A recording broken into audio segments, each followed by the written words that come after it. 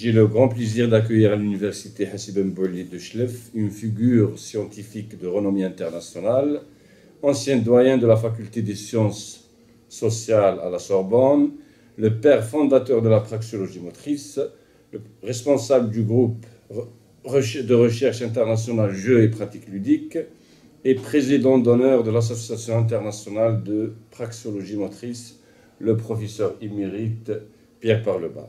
Cher euh, professeur, bienvenue à l'université Hassibam Boili de.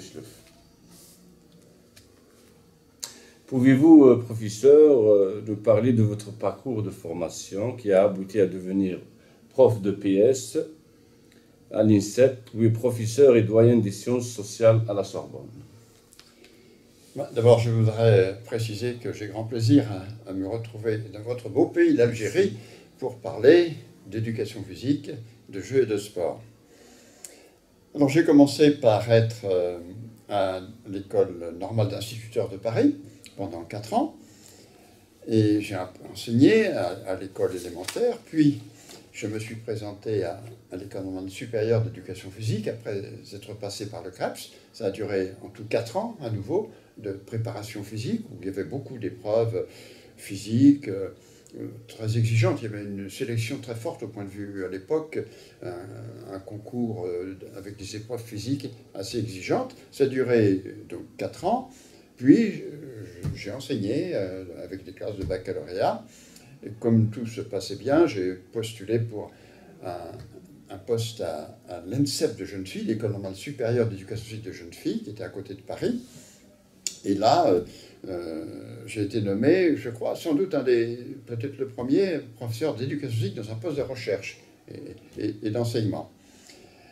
Euh, alors, je m'étais rendu compte que pour enseigner l'éducation physique, je n'avais pas les moyens réels de le faire, les moyens théoriques parfois pas pratique, mais je n'avais pas les moyens théoriques. Euh, je devais officiellement proposer trois théories. La méthode Hébert, la méthode naturelle, la méthode construite, euh, type suédois, et la méthode sportive. C'était dans les textes, ça faisait partie des textes qui nous imposaient ce type de, de, pratique. Et mes étudiants me questionnaient en me disant, mais monsieur, on ne comprend pas, vous, vous procédez de façon très différente, tantôt vous êtes très exigeant en méthode construite, tantôt euh, beaucoup plus exigeant sur la dépense énergétique, tantôt c'était le sport, on ne comprend pas pourquoi vous faites cela et quelle cohérence. Moi non plus, je ne comprenais pas bien, j'avais du mal à expliquer à mes étudiants euh, la raison de cette disparité de, de doctrine. Alors, je me suis dit, euh, puisqu'il n'y a pas de réponse euh, dans ce que j'ai appris, je vais essayer de perfectionner cela. Et je me suis dit, il y a une seule façon de faire, c'est d'abandonner la discussion idéologique purement spéculative et essayer d'avoir une vision scientifique. Et c'est là que donc, pour cette raison, je me suis inscrit à la Sorbonne comme étudiant. J'ai suivi un cursus complet de psychologue puis le psychosociologue. Euh, je me suis rendu compte que c'était encore insuffisant, donc j'ai fait de la sociologie. J'ai passé un, doctorat d'État euh, de sociologie. Puis, comme c'était encore insuffisant, je, m'apercevais que j'étais encore en état de manque de certaines connaissances. J'ai suivi des cours de linguistique, de sémiologie, puis de, mathématiques. Euh, c'est toujours insuffisant, on est toujours rempli d'ignorance, il hein, faut, bien se dire la vérité, mais à partir de tout ce corpus de connaissances venant de l'extérieur, j'ai essayé de forger un nouveau socle de connaissances en éducation physique. D'accord. Alors, vous avez une grande expérience en tant qu'animateur dans des centres de vacances. Comment évaluez-vous cette euh, expérience? Alors, ça, euh, dans cursus, ça a été très, très important parce que euh, ça correspond à un type de pratique euh, extrêmement important, à la fois dans le volume horaire et dans la teneur en éducation. En effet, en, colonie de vacances, on reste 24 heures sur 24 avec l'enfant, et cela pendant, au début, c'était pendant 50 jours de suite. On était dans un lieu très éloigné de Paris, donc en dehors de la famille, en dehors des, contraintes habituelles, et on vivait dans une sorte d'isolat. On était 200, 250. Et on, vivait ensemble pendant près de deux mois. Et nous, les animateurs, on devait organiser les activités, proposer des, jeux, des, baignades, des activités de pleine nature. Et surtout, ce qui était important, c'est qu'on vivait avec les enfants, les garçons, les filles, et on apprenait à nouer des relations, à comprendre les besoins de l'enfant, à connaître leurs exigences, leurs difficultés. il n'y a rien de mieux pour apprendre ce qu'est la pédagogie, rien de mieux que les centres de vacances. C'est excellent. Et c'est là que vraiment les capacités pédagogiques ont pu se développer. Donc pour moi, je considère que les centres de vacances représentent un lieu excellent pour euh, la pratique pédagogique, pour se former au contact des, enfants. Des enfants, d'accord. J'ai continué, alors j'ai continué pendant des dizaines d'années.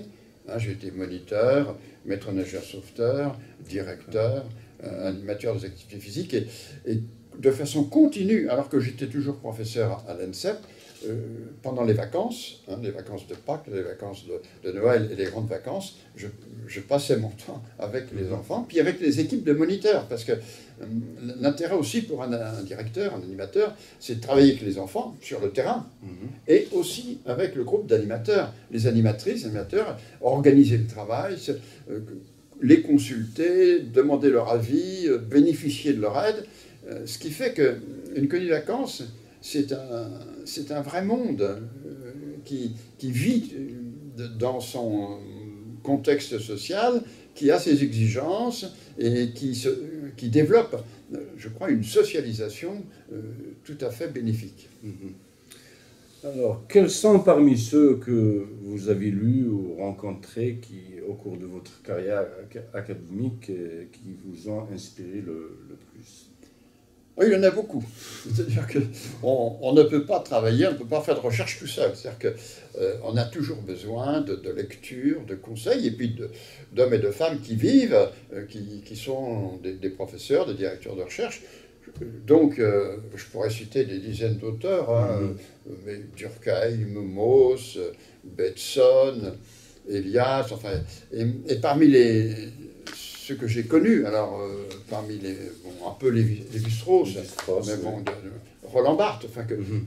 que j'ai connu, j'ai pas travaillé avec eux, mais j'ai lu leurs travaux, je, suis allé les écouter, c'était remarquable. Et puis alors, de façon plus proche, euh, Raymond Boudon, j'ai vu également mhm. euh, Pierre Bourdieu. Enfin, à Paris, l'avantage, c'est qu'il y a un, ensemble de, de, personnes, d'intellectuels, de chercheurs de premier ordre. Mhm. J'ai donc bénéficié notamment à la Sorbonne, d'une disons, d'un ensemble d'enseignants et de chercheurs de très grande qualité. Piaget, euh, Fraisse, enfin, enfin, beaucoup d'enseignants, de, Simondon, de Lagache, en psychanalyse de, de, très grande qualité. Mmh. Donc c'est grâce, grâce à ces apports extérieurs et grâce à ces personnes que j'ai pu avancer. D'accord. Euh, vous avez posé il y a longtemps euh, le problème de l'émiettement de l'éducation physique et sportive. Pouvez-vous nous dire s'il existe un rapport entre votre formation en sociologie en mathématiques et la naissance de votre sens critique dans le débat et les propositions sur euh, l'éducation physique et sportive à l'époque? Oui, alors je voulais un peu indiquer tout à l'heure, c'est que dans mon enseignement, j'étais très perturbé et très perplexe, car les doctrines étaient très différentes et euh, je donnais un enseignement euh, en miettes, quoi, mmh, mmh. qui était très disparate selon les jours, qui était incohérent. Alors, ce n'est pas satisfaisant pour un enseignant, quand on a des étudiants devant soi, des étudiants de qualité qui veulent avancer, de leur proposer euh, une nourriture qui n'est pas adaptée. Alors, mmh, donc, c'est en réfléchissant à, ma formation, à ce que j'avais appris et à ce que je faisais, notamment avec d'autres collègues, que est née cette idée de, changer les choses, d'essayer de changer les choses. Euh, ce ne sont pas ni les mathématiques, ni la, ni la, psychologie, ni la sociologie qui ont été au départ. Mmh. Euh, en revanche, ils ont été sur le chemin. Et c'est grâce à, à, cette acquisition de données psychologiques, sociologiques, sémiologiques que j'ai pu avancer. Donc, à l'origine, il y a le terrain. C'est-à-dire que moi, sur le terrain, je devais enseigner et ça ne correspondait pas à, l'idée que je me faisais d'un enseignement cohérent qui se tenait. Donc, euh, c'est à partir de cela euh, que j'ai essayé de changer les choses. Et les mathématiques, enfin la psychologie, la sociologie, sont venus étayer cela, m'ont aidé à comprendre et à avancer. Mais au départ, c'est le terrain. Mhm. La, la, difficulté de donner des enseignements très différents et euh, disparates. Mais si on prend l'exemple de la modélisation mathématique des jeux, oui. on voit bien que les mathématiques sont présentes dans votre pensée, dans votre tout, sens de voir les choses. Tout à fait. C'est-à-dire que, je le disais tout à l'heure, je me suis dit, euh, il faut abandonner uniquement les, les discours, les slogans. Il faut abandonner les affirmations purement spéculatives. Euh, on n'est pas des hommes de bureau, on est des hommes de terrain. Euh, donc, on va essayer de montrer sur le terrain ce qui se passe, et pour cela, il faut expérimenter, mhm. il faut observer, et il faut modéliser. Modéliser, c'est représenter de façon simplifiée les phénomènes les plus pertinents d'une situation. Alors, euh, bon, on pourra peut-être en parler à propos des jeux, mais effectivement, j'ai essayé de montrer que les jeux, le sport, hein, ce n'est pas une vague agitation, mais c'est un ensemble de pratiques qui sont réglées par des phénomènes sous-jacents, qui sont derrière les apparences, et, qui, qui, sont représentés par des modèles, c'est-à-dire des structures des matrices qui gèrent le fonctionnement du sport mm. et, des jeux. C'est ça qui est un peu difficile à comprendre de prime abord, mm. c'est que ce qui paraît apparemment très, euh, très disparate, très différent, très gesticulant, en réalité, est tenu par des matrices qui organisent la distribution des comportements. Dans, le cas du football, du volleyball, du, tennis, il y a derrière toute une architecture liée aux règles et à la logique interne du jeu qui nous mettent dans des conditions précises d'action. Face à la situation de crise épistémologique qui a marqué le domaine des pratiques corporelles, vous avez proposé une nouvelle science euh, qui est la praxéologie motrice Pouvez-vous donc euh, nous parler de ces fondements et surtout sur la démarche scientifique qui caractérise cette, euh, cette science? Oui, alors tout banalement, quand je réfléchissais, je me rendais compte que finalement, que ce soit en méthode Hébert ou en méthode sportive, euh, sur quoi nous intervenions, nous, les enseignants d'éducation physique? On intervenait sur, disons, l'action, la mise en jeu du corps. Mmh. Et je me suis dit, mais finalement, notre objectif, c'est pas la santé c'est pas la morale. C'est pas ça. La santé, c'est le médecin, c'est pas nous. On n'est pas des médecins. C'est pas la morale. Pas, on n'est pas des juristes non plus. Sur quoi on intervient? On intervient sur la mise en jeu du corps. Donc il faut travailler sur le corps, mais, mais pas le corps comme le psychanalyste, où le corps est allongé et ne bouge pas. Ou comme le Non, on, on travaille sur le corps qui agit, sur le corps en mouvement. Alors je me suis dit, mais qu'est-ce qu'il y a derrière? Quel est le concept? Et c'est là que, à partir de ce travail de plusieurs années de psychologie, de sociologie, je me suis dit, euh, il s'agit de la mise en action, de, l'action motrice. Surtout le processus cognitif. Euh, Alors le processus cognitif, mais aussi affectif. affectif C'est-à-dire que euh, je me rappelle quand j'ai écrit les premiers articles, là, il y a maintenant 40-50 ans, sur l'affectivité, clé des conduites motrices, mes collègues sont venus me voir en, rigolant, en me disant, mais mon cher ami, de, quoi vous parlez Ça n'a rien à voir avec le sport. L'affectivité, c'est autre chose. Nous, on travaille sur le mouvement. Alors, je dis, le mouvement, d'accord. Mais le mouvement, c'est un concept de physique. Mhm. Hein, de biomécanique. Alors, d'accord, on, s'appuie sur la physique, sur la biomécanique. Mais l'éducation physique, le sport, le jeu, c'est pas uniquement de la biomécanique. C'est euh, une mise en jeu de toute la personne, de, de ce qui lui plaît, de la passion, de l'émotion, de la relation à autrui la pratique physique, c'est tout un ensemble de la personnalité du sujet. Et donc, on ne peut pas réduire la pratique ludique ou la pratique motrice à, du mouvement. C'est une action beaucoup plus ample qui sollicite toute la personne. Et, c'est pour ça qu'il y a vraiment une éducation physique. Parce qu'en sollicitant toute la personne, on agit sur euh, sa pensée, sur, euh, son, sur ses émois, sur, son affectivité, et donc on exerce une influence qui se transférera en partie sur sa vie euh, future. Donc l'idée, c'était cela. développer une, science de l'action motrice, bon, j'ai appelé praxiologie motrice parce qu'il fallait bien la, nommer, mais l'idée c'est bien cela, c'est analyser l'action motrice dans toutes ses manifestations, dans le sport, dans le jeu, dans les activités quotidiennes, etc. Alors, que pensez-vous des avancées de, la praxiologie motrice euh, réalisées jusqu'ici? Ah ben, Les avancées euh, ont été assez longues à mettre en train parce que on luttait contre des traditions. Mhm. Finalement, la, praxiologie motrice a eu à lutter contre les conformismes. C'est pour ça que j'ai eu un certain nombre de difficultés et d'oppositions avec euh, des administrateurs, avec, avec certains collègues, parce que euh, la praxéologie motrice propose un nouveau point de vue et oblige à changer. On ne peut plus se contenter euh, de la routine, de, faire comme on faisait au, au 19e siècle. Parce que euh, moi, ce que j'ai appris en tant qu'étudiant en éducation physique à l'ENSEP, hein, c'était de faire une, éducation physique du 19e siècle. à la suite, en gros, de Georges Desmené, qui était un chercheur remarquable, mais c'était sur le mouvement. Il ne fallait plus travailler uniquement sur le mouvement, sur la biomécanique, sur la physiologie, qui restait très importante, mais il fallait travailler, comme je le disais, sur l'ensemble de la personne en relation avec le contexte. Et ça, ça a été difficile. Euh, d'où cette euh, lenteur, euh, cette résistance de l'extérieur. Mais maintenant, je pense que le, mouvement est bien lancé parce qu'il a été repris et développé par d'autres collègues, mm. par des Algériens, par des Espagnols, des Sud-Américains, etc. C'est-à-dire que beaucoup de collègues, surtout des jeunes, euh, ont constaté qu'il fallait changer. On ne pouvait plus rester dans les idées anciennes. Et, là, nous proposions des idées nouvelles euh, qui, ma foi, pouvaient être changées. ce, n'est pas une doctrine. La praxéologie motrice n'est pas une doctrine. C'est une position scientifique qui développe une théorie dont les données sont révisables, euh, bien entendu, comme, comme toute science. Hein, Vérifiable, oui. Comme toute science. Mm. En psychologie, en sociologie, en biologie, les théories changent, s'améliorent, etc.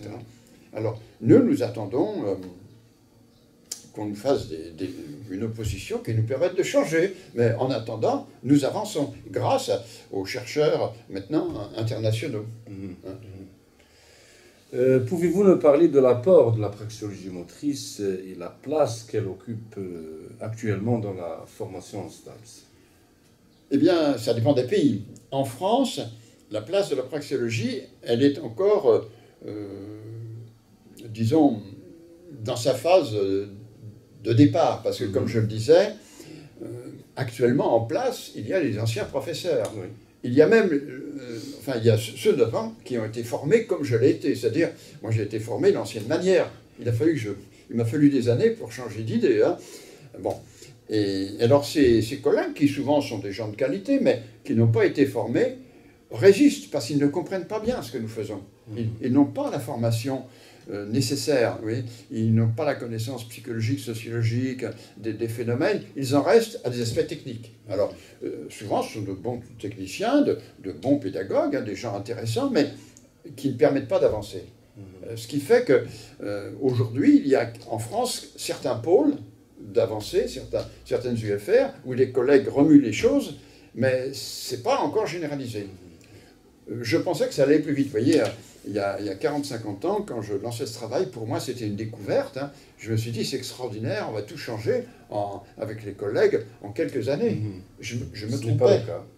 Je me trompais parce que les, des choses importantes comme cela, les changements de mentalité, euh, se font progressivement, petit à petit. Ça ne se fait pas vite. Alors heureusement, je heureusement qu'il y a les collègues comme vous, hein, euh, comme les Espagnols, comme les, également, on a des Sud-Américains, les Argentins, etc. Heureusement euh, qu'on a ces collègues parce que ça, ça fait réfléchir les Français. Hein, les, Français sont un peu engoncés euh, dans leur conception ancienne, et le fait que euh, des, des, Algériens, des Tunisiens, des Espagnols viennent les, secouer un peu, ça fait du bien. Alors j'espère que nous allons continuer à avancer grâce aux travaux des collègues. Dans la relation de la praxéologie motrice avec les autres sciences, vous proposez toujours le, une ouverture transdisciplinaire. Pouvez-vous nous éclairer davantage sur ce, point?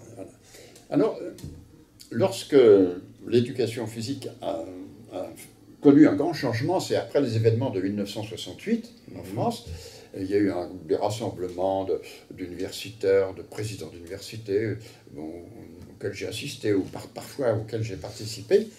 Et hum, ce qui a été proposé en France, ça a été de changer la formation, d'inclure l'éducation physique à l'université, et de commencer, hein, on a commencé par la licence, la maîtrise, petit à petit, mais la conception, à mon avis, était un peu aberrante. C'est-à-dire qu'on s'est dit, euh, bien entendu, vous avez raison, il faut de la psychologie, de la sociologie, et on va donc faire de l'enseignement de la biologie, on ajoutera de la, psychologie, on ajoutera de la sociologie, on ajoutera de mathématiques, non, on n'y pensait pas, hein, vraiment, il y a, on peut. Euh, euh, autrement dit, on a conçu l'enseignement dans les STAPS, pour les futurs professeurs d'éducation physique, comme une juxtaposition de, disciplines différentes qui, qui, chacune parlait de, un petit peu du corps, de mm. l'éducation physique, euh, des spectateurs dans les stades, de la gestion par-ci, euh, Alors, toutes choses qui étaient intéressantes, mais euh, qui ne se combinaient pas, qui ne mm. formaient pas une synthèse. C'était pas cohérent. C'était une pièce, mm. une sorte d'habit d'arlequin. Hein, C'était un habit d'arlequin avec des couleurs différentes les étudiants ne comprenaient pas grand-chose à tout ça. Hein. Alors, ils, faisaient leur travail, mais ils récitaient. Mais il n'y avait pas de prise en compte de la motricité. Alors, moi, je me suis dit, il ne faut pas uniquement d'un enseignement de juxtaposition disciplinaire. Il ne faut pas faire uniquement de la multidisciplinarité. Il faut faire de la transdisciplinarité. Trans veut dire traverser. C'est-à-dire, comme le transsibérien, on traverse la Sibérie. Là, on traverse les disciplines pour déboucher sur euh, une discipline nouvelle qui a un objet pertinent, spécifique, qui est les conduites motrices, l'action motrice. Alors, et le paradoxe, c'est que en travaillant sur cette euh, multiplicité de disciplines, en les traversant, on aboutit à une activité qui est monodisciplinaire, comme toutes les disciplines, qui a son toujours son identité. Qui garde une identité, exactement. C'est ça qui est capital. Mm. L'identité, la pertinence, c'est-à-dire le point de vue propre. Et là, c'est l'action motrice. Mm. Tout comme la psychologie, la biologie euh, ont chacune leur point de vue propre. Ce, que ce qui ne les empêche pas de travailler avec les autres disciplines. Mm. On a absolument besoin des autres disciplines. Moi, je, suis nourri de ces autres disciplines, mais euh, mon propos ne consiste pas à les additionner. Mon propos consiste à utiliser leur apport indispensable pour essayer de forger une nouvelle synthèse. Vos lecteurs remarquent que vous ne répondiez jamais aux critiques de vos adversaires. Pouvez-vous nous dire euh, pourquoi? Alors, la critique est indispensable. Sans critique, on n'avance pas. C'est-à-dire que, d'ailleurs, moi, constamment, avec mes étudiants, mes collègues, je dis, euh, n'hésitez pas à critiquer, venez proposer un autre point de vue. Mhm. La recherche, c'est avant tout la, remise en cause. La remise en cause, on essaye de réfléchir, d'apporter de, nouvelles solutions. Alors, donc, nous avons besoin de critiques. Non seulement nous l'acceptons, mais nous le revendiquons, nous en avons besoin pour avancer. Seulement, le problème, c'est que la praxéologie motrice ne reçoit pas de vraies critiques. Ce qu'on reçoit, c'est des, des, oppositions, des contradictions, euh, mais euh, qui n'ont pas grand-chose à voir avec le contenu de la praxéologie motrice. Hein. nos contradicteurs ne, ne, comprennent pas ou ne veulent pas comprendre. Alors, ils, font des discours contre la praxéologie motrice, mais quels sont les, arguments? Les arguments. Il n'y a pas d'arguments. Ce qu'on m'a dit au début, oh oui, euh, ce qu'il propose, c'est pas très intéressant, puis surtout, il ne connaît pas la pratique. On, me disait que je ne connaissais pas le terrain alors que je faisais que ça. Euh, ça n'a pas lieu d'être, si vous ne laissez pas une critique, ça c'est une stupidité. Il faut critiquer sur, sur les contenus, sur les, les contradictions internes, sur les, les impasses, mhm. euh, mais on n'a pas de... Pour l'instant, ça viendra. Hein. Je pense que maintenant, que le travail avance, maintenant qu'il y a une pluralité de chercheurs qui s'en occupent, les critiques vont venir et que mon point de vue va être dépassé. C'est-à-dire que d'autres chercheurs vont améliorer ce que nous avons fait, vont faire mieux, vont proposer des prolongements, et c'est comme ça que la science avance.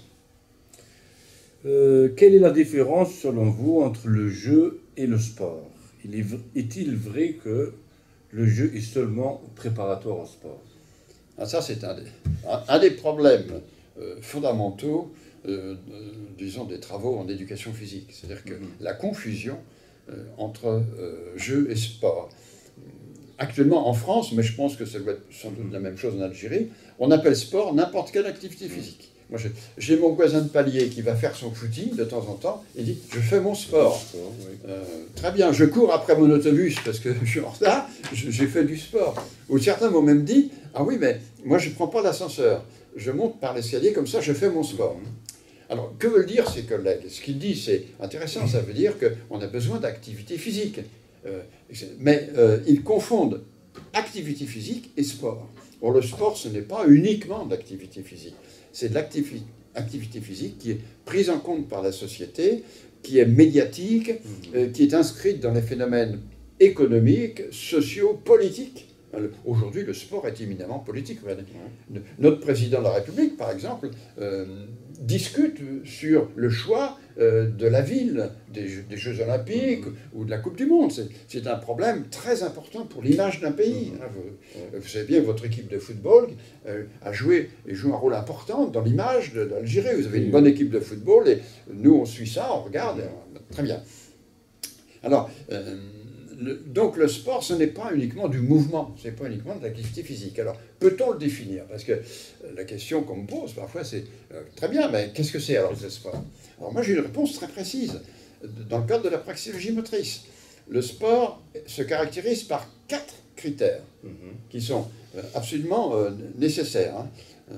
D'abord, il faut que ce soit des pratiques motrices. Mhm. Par exemple, le jeu d'échecs qui demande à faire partie des Jeux olympiques, le jeu d'échecs n'est pas un sport, car il n'y a pas de motricité. Alors, les étudiants qui sont des gens malins me disent, mais monsieur, quand on, je prends le roi ou la reine ou le pion, je le déplace, il y a bien une motricité. Ah, je dis, vous avez raison. Mais cette motricité n'est pas pertinente. C'est-à-dire que je peux jouer aux échecs par correspondance au téléphone. Parce que la mise en jeu du corps n'est pas nécessaire les jeux d'échecs n'est pas une pratique corporelle, c'est une pratique cognitive hein, Alors donc il faut qu'il y ait une mise en jeu corporelle, une pratique motrice. Il faut qu'il y ait des règles. S'il n'y a pas de règles, il n'y a pas de jeu, il n'y a pas de sport. Là, c'est parce que sinon, tout est sport. Un gamin qui court, qui joue avec euh, une, plume, euh, avec une feuille d'arbre, qui s'amuse à courir, euh, non, c'est pas un jeu, c'est une activité ludique qui lui plaît, mais c'est pas un jeu, c'est pas un sport. Il faut qu'il y ait des règles. Il faut qu'il y ait une compétition. S'il n'y a pas de compétition, il n'y a pas de sport. Le sport, c'est une activité d'opposition, de confrontation, n'est-ce pas? Et enfin, il faut qu'il y ait institutionnalisation. Alors c'est ça qui est difficile à comprendre. Et tu vois bien, au départ, les, étudiants, les collègues en éducation physique ont du mal à bien saisir ce que ça veut dire. Euh, une activité est institutionnalisée lorsqu'elle est prise en compte par la société dans ses différents mécanismes, mécanismes économiques, euh, politiques, organisationnels, éducatifs, etc. Et ça change tout. Par exemple, regardez l'importance du football aujourd'hui. Mm. Pourquoi? Parce qu'il est médiatisé et institutionnalisé. Mais vous prenez le jeu de bar, par exemple, qui est aussi intéressant que le, que le football comme pratique éducative, euh, on n'en parle pas parce qu'il n'est pas institutionnalisé. Alors, voici donc les critères euh, nécessaires et suffisants. Nécessaire, ça veut dire que s'ils ne sont pas là, il n'y a pas de sport. Suffisant, c'est-à-dire que ce n'est pas nécessaire d'en ajouter d'autres. Mmh. Hein, quatre critères. Alors, ça, c'est le sport. Donc, ma définition du sport est claire. Le sport, c'est l'ensemble des situations motrices euh, réglées de façon compétitive et institutionnalisée. Ça, ça, tient sur même pas de ligne. Alors, le jeu, lui, euh, la, définition que je donne du jeu, c'est une du jeu sportif. C'est une situation motrice réglée et compétitive, mhm.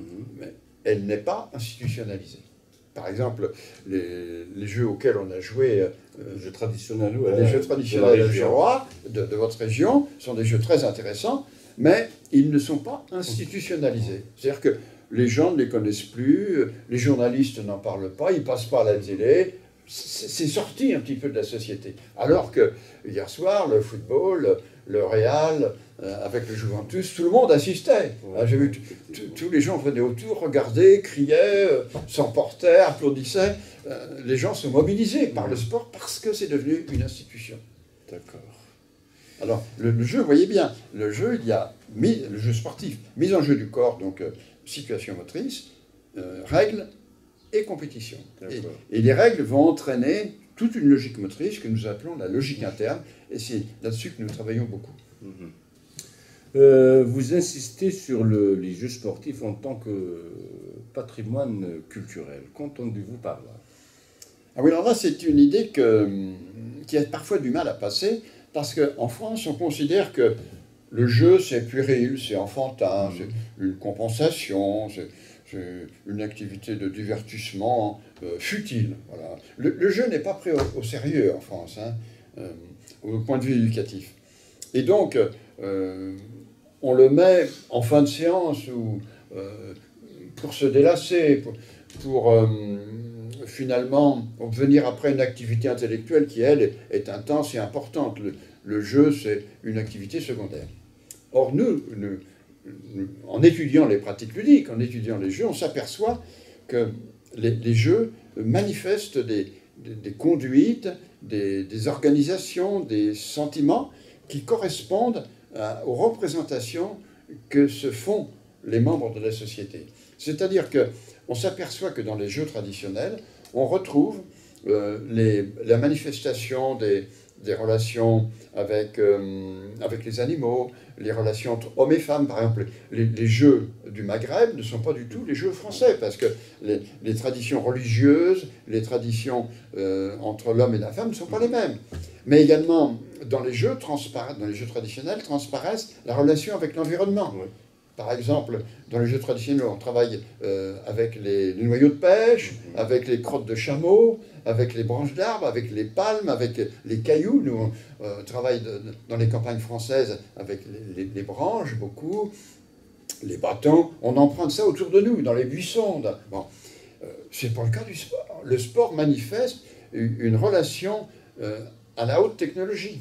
Aujourd'hui, les, pratiques sportives sont un petit peu les bancs d'essai industriels pour l'automobile, pour la moto, pour les bateaux, l'aviation, etc. Autrement dit, euh, au travers des, jeux traditionnels, on a la manifestation de, sentiments, de représentations qui sont au fond de la culture, alors, au, très fond de la culture. Aujourd'hui, on s'aperçoit qu'il y a un déplacement. Le sport représente aujourd'hui ce qu'on appelle le progrès, c'est-à-dire que, euh, regardez, même des, instruments aussi banals que la, bicyclette.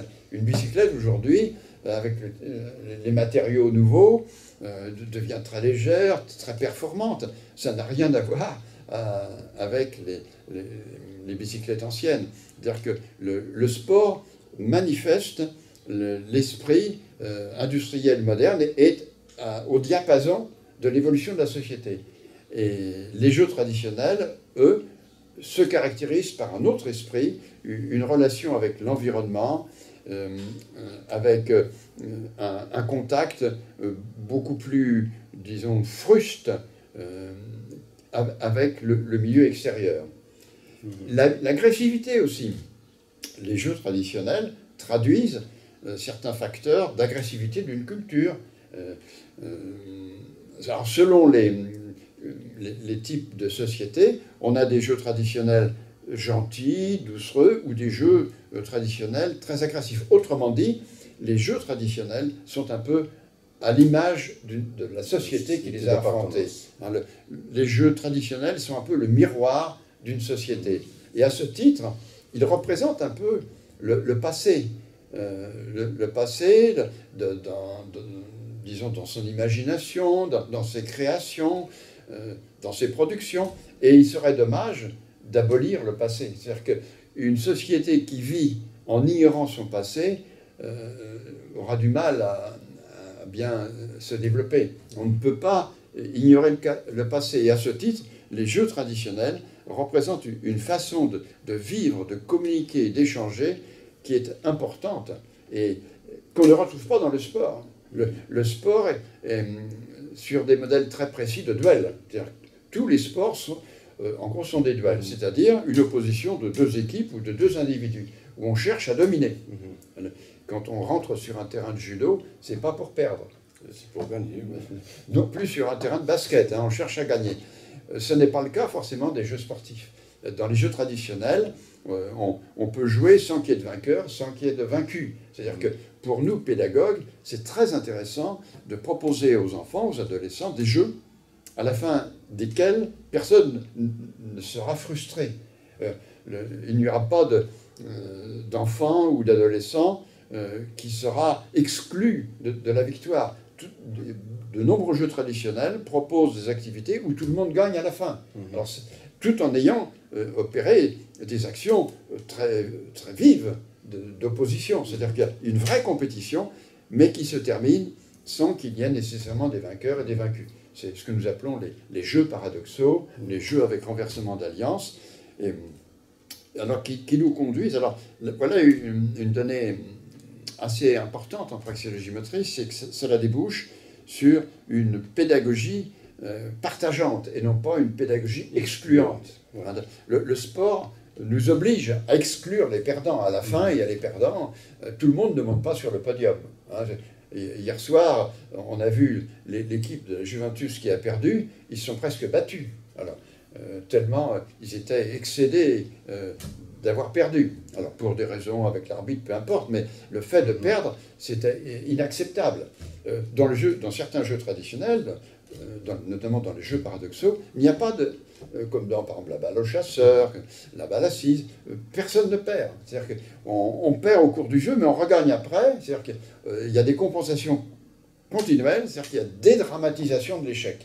Alors nous, en éducation physique, nous pensons qu'il faut dédramatiser les échecs ne pas insister sur la hiérarchie, sur la supériorité des uns et des autres. Il ne faut, faut pas faire une, une pédagogie de, la force et, de la victoire à tout prix.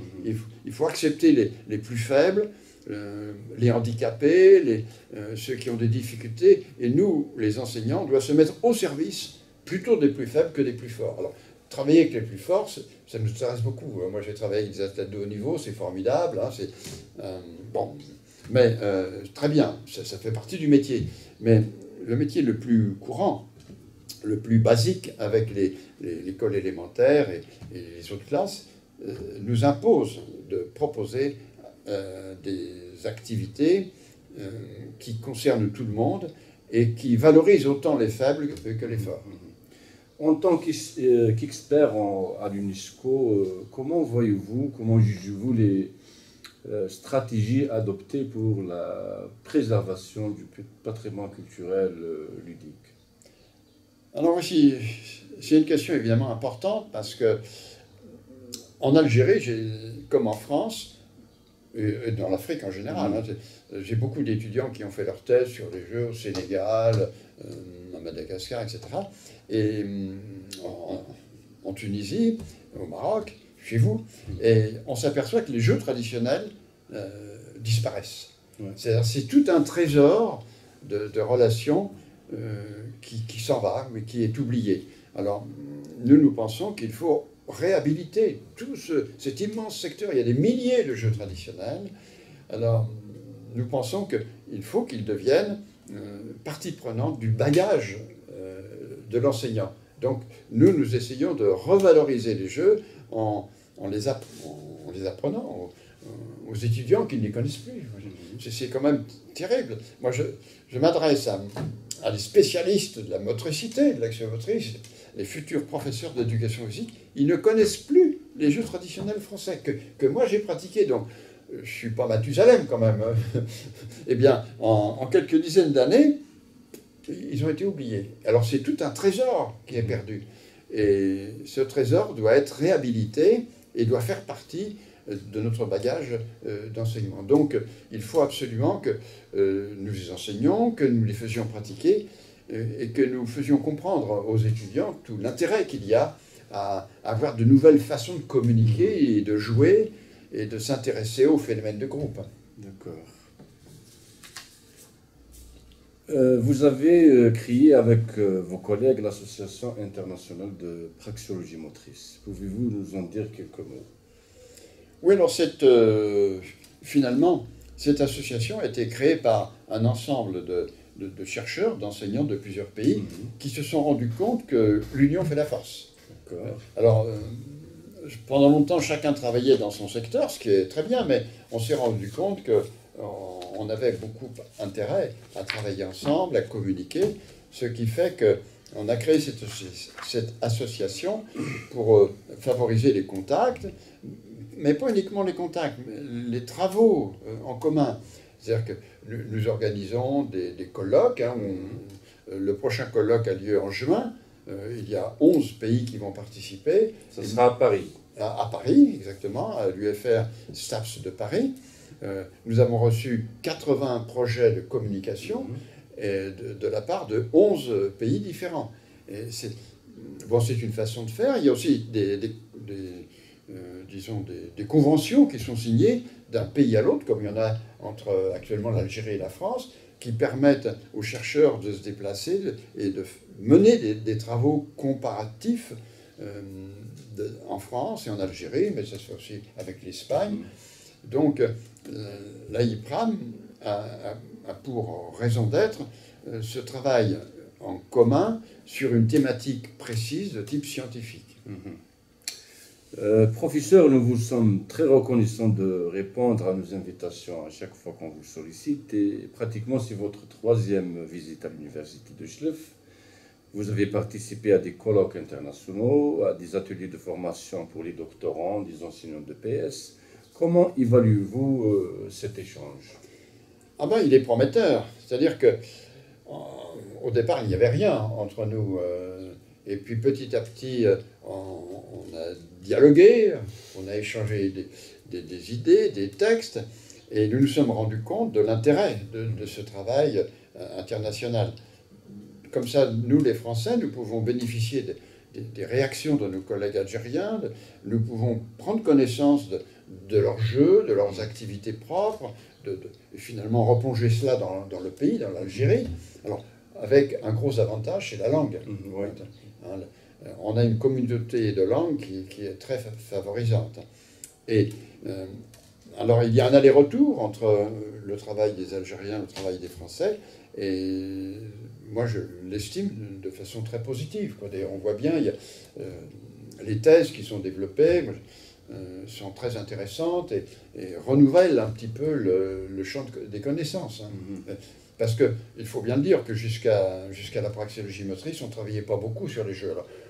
certes, il y avait des ethnologues hein, qui, chemin faisant, parlaient avec euh, beaucoup de talent des, jeux, c'est vrai. Euh, quelques administrateurs qui mm-hmm. avaient compris l'intérêt des jeux. J'ai lu des, des rapports. Hein. Mais c'était un petit peu dispersé. Maintenant, avec la praxéologie motrice, c'est centré sur la thématique de la mise en jeu corporelle en relation avec le contexte.